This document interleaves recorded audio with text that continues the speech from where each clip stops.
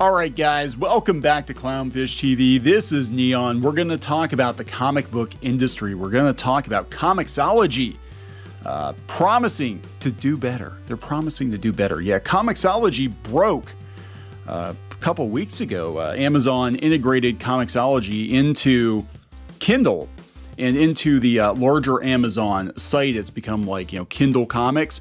Yeah, and it's absolute trash. Uh, it's horrible. It's worse than I thought it was. We we talked about it in a previous video. People were upset that they were uh, they basically broken the um, user experience and the front end, and they've also changed their terms of service. Uh, it's really not good. I mean, like when I'm saying not good, I'm like it's freaking terrible. And I actually went in and, and checked out some of my own digital comics. Uh, you know, later on, I'm like some of them are just absolutely unreadable. So it looks like they're walking back some of their decisions, uh, promising to fix the user interface. But there are some other issues with Comixology right now. Of course, you know, since they've rolled it into Kindle, the uh, profit share is different um, than it was before. And I don't think they're going to roll that back. I think they were kind of using the opportunity to make sure that uh, creators get less money and they get the same amount of money that a Kindle author would get. So we're going to talk about this uh, this update. Before we get into it any further, please subscribe for more pop culture news, views, and rants. Guys, over 259,000 subs. Thank you so much for the support. Geeky is sitting this one out. She usually doesn't care about comic book industry numbers videos, and we're not really going to talk about the numbers so much, but I think the, the numbers did drop off a cliff. Um, you know, going out to Bleeding Cool uh, according to Rich Johnston, the digital sales were dropping. I'm sure they were because people are like, I can't even I can't even read my damn comics. Why would you why would you invest more money in Comixology if the comics are unreadable? Uh, lots of people talking about it. This is coming from Gizmodo. Uh, Comixology promises fixes and updates after disastrous Amazon integration. Again, Patton Oswalt, not a huge fan of him, uh, not a huge fan of his his hot takes, but you know, he's like, how hard would it be to just roll it back?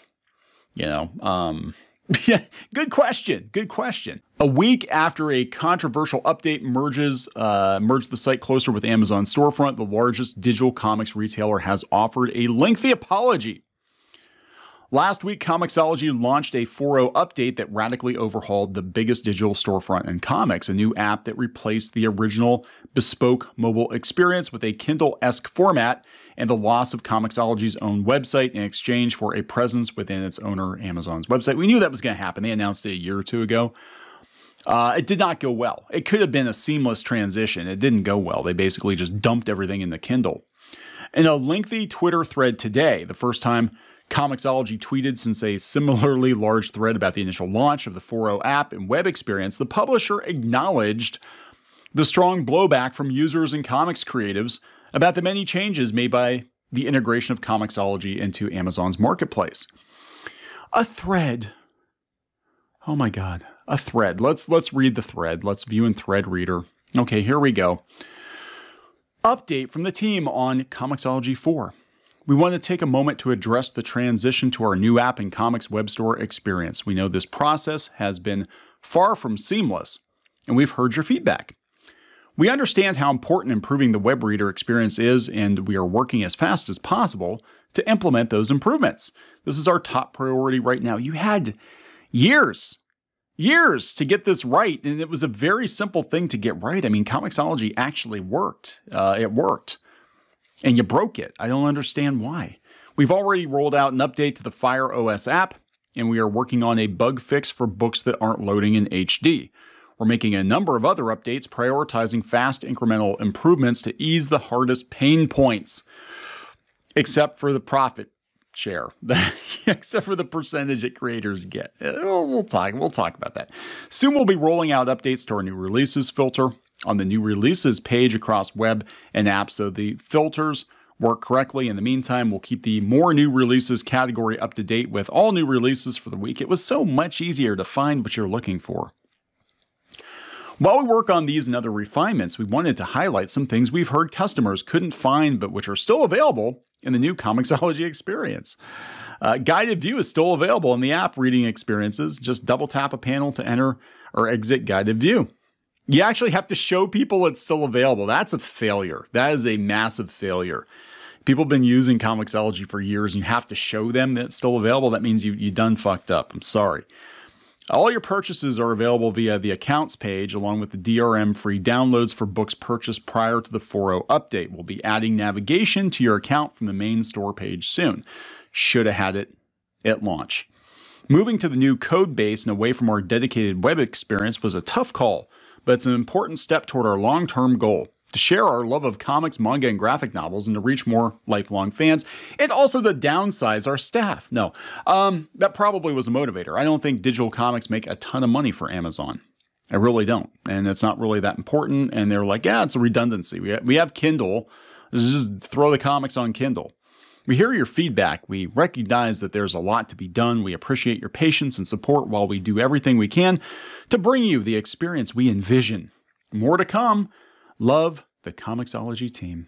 Far from seamless has applied to both aspects of the unpopular relaunch. That is true. Aside from changes to the app, confusion over which led readers to believe tools like Comixology's panel by panel guided view option had been removed. It's now just accessed by double tapping a panel instead of having a dedicated button.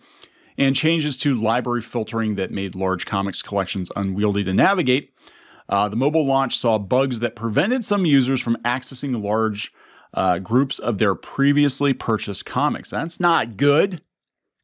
Remember, guys, you're only renting these comics. They could disappear at any time, I'm just saying. Perhaps the most profound change has been in browsers, both navigating Comixology's Amazon integrated storefront plagued with bugs uh, made it impossible to see more than a few dozen new releases out of hundreds of comics, as well as unintuitive ways to access your library, etc., etc. Several incoming changes, none of which were given an ETA, uh, include fixing the storefront's new release filter. Uh, we get it. They fucked up. They know they fucked up. And I think it affected their sales, according to Rich Johnston from Bleeding Cool. Um, you know, Comixology answers criticism as digital sales drop by a huge amount. Uh, we're getting more Comixology complaints to join the litany that Bleeding Cool has been reporting in recent days from all over the place. Comixology has not responded to Bleeding Cool's many press inquiries made over the last couple weeks, nor will they. They probably won't. They're Amazon. This isn't like this isn't like you know Black Mask or Vault Comics. This is Amazon. They don't give a shit. Uh, they did issue a response to the litany of complaints on social media yesterday. Comixology representatives stated this is coming from Twitter. This doesn't address the many issues people had with buying and discovering new comic books. That's true. Uh, Comixology, they actually would, you know, feature new comics collections. Uh, if you wanted to look for books, now I don't know if it's changed that much in the app. I mean, I was just going through some of the books I, had already purchased. I don't intend on purchasing anymore, especially with Comixology in the state that it's in right now. But if if you went out there and you wanted like, hey, I want I want books by this colorist or this letterer, you could do it. You could find all the stuff they worked on. It was great, and uh, that is not the case now. I, I, guess from what I've heard. Um, yeah, the biggest problem though is the money. I think uh, many issues facing international customers, such as subscribing to series, not addressed. The mentioned change will be welcomed by creators, readers, and especially publishers. Uh, he says he has spoken to a number of comic book publishers who have told me their digital sales have dropped by anywhere from 20 to 70% as a result of the change. I would agree with that because I am no longer buying. I think all my subscriptions were canceled. I don't know. But I have no intention of buying any more digital comics. I don't buy a lot of digital comics anyway. Uh, I've been buying more trades and I've definitely been buying more manga. And if I read digital comics, mostly I'm reading on the Shonen Jump app because it's like two bucks for all you can read, and I, I love it. Uh, and it's also very easy to navigate. But you know, yeah, I would I would not buy comics on Comixology at this point because if they're unreadable, you know, you're it's like what's the point? What's the freaking point? So it'll be interesting to see if more people come out and and say, hey, you know, uh, we're done with Comixology. But here's here's the thing. And I, I brought this up the other day, and this isn't necessarily just Comixology, but it's getting to a place it's getting to a place where you're not allowed to publish your shit anywhere either because the platform is broken the system is broken um, or you're not allowed to because it's it's verboten You know, uh, I think uh, Zach actually did a video talking about how everything is broken in comics right now, and it is. I mean, top to bottom, it's like everything is broken. Manga's doing well. Young adult graphic novels are doing well. Webtoons doing well. But the North American direct market uh, comic book industry is just, it's in freaking shambles right now. I mean, look at this. You can't, because of places being verboten for a number of reasons, you can't use Kickstarter because of NFTs. You can't use Indiegogo to crowdfund your books because that's where all the Nazis go. You can't use Gumroad because of crypto and NFTs. Or Substack because the Nazis are on Substack. you can't use YouTube because they're YouTube Nazis. If you use if you use YouTube and you're critical of comics, you're you're banned from the industry. And now you can't use Comixology because the shit's just just broken. You know, I'm surprised there's not another issue like it's owned by Amazon and Amazon's bad. I give up. Whatever. you know, whatever. It's it's I think it'll get fixed eventually. The market will course correct all, all of this, I believe, but it could take some time. In the meantime, just keep making your comics, right? You'll find a way to sell them.